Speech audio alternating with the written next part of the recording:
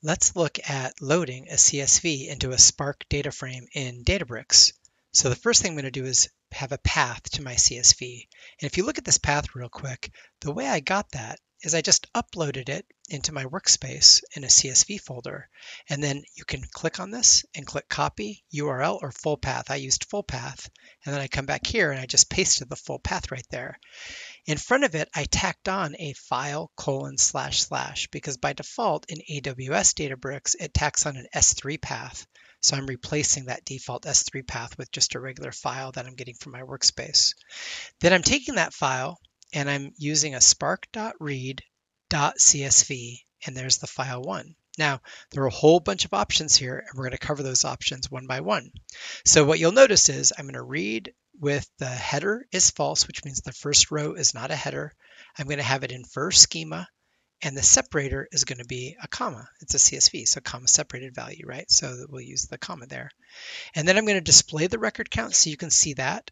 And I'm going to show you the schema, and then I'll show you the data frame, and that's it. So I hit, I'm on a Mac, so I hit Command Return.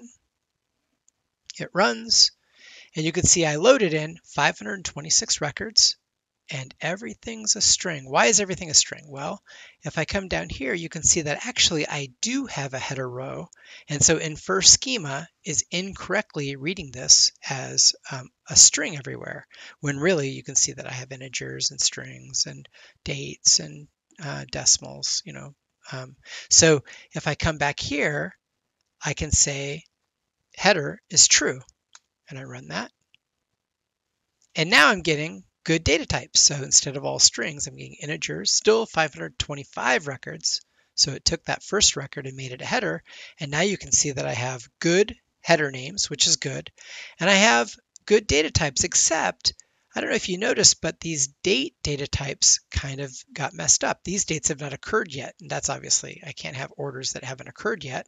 So um, why is that? Well, hold that question and I'll get back to it. Okay, Another thing that we can do, by the way, is instead of just reading one file, you noticed that I had several files there, I can take the file name off and just end the path with the backslash, or excuse me, in this case, a forward slash.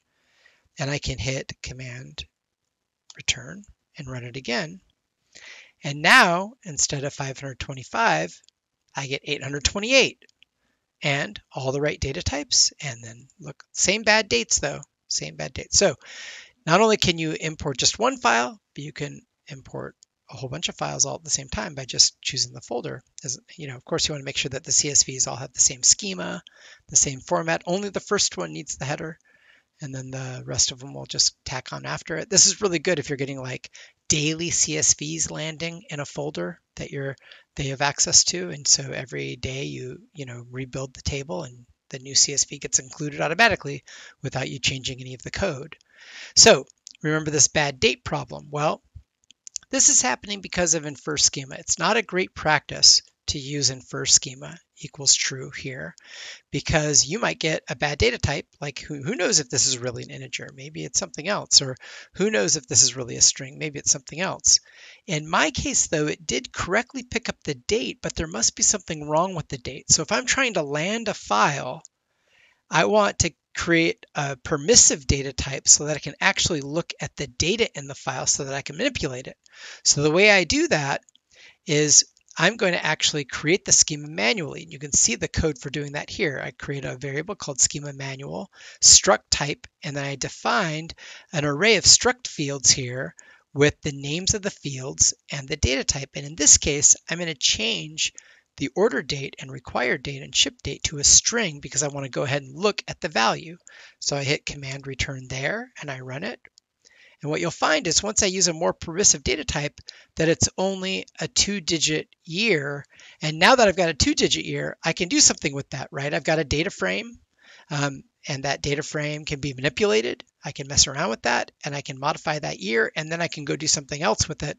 Like, you know, ideally convert this from a CSV to a Parquet file, um, create more curated and focused data types that are specific, have specific use cases and purposes. Um, and that's it. That's the basics of dealing with a CSV in Databricks. Hopefully that helped you. Thanks.